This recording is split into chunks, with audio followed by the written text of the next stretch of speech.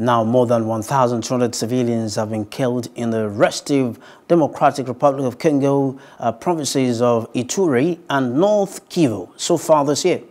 Millions of people now need humanitarian aid in the eastern region, the UN Refugee Agency said on Friday.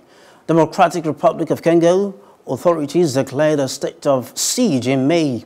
It's an exceptional measure aimed at ending the reign of terror by armed groups operating in the region. Most notably, the Allied Democratic Forces, ADF, a group linked to the so-called Islamic State. The UN High Commissioner for Refugees, UNHCR, and its partners recorded more than 1,200 civilian deaths and 1,100 rapes this year alone.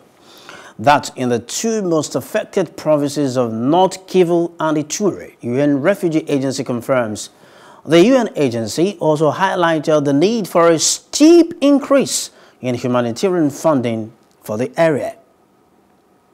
Hello. Hope you enjoyed the news. Please do subscribe to our YouTube channel and don't forget to hit the notification button so you get notified about fresh news updates.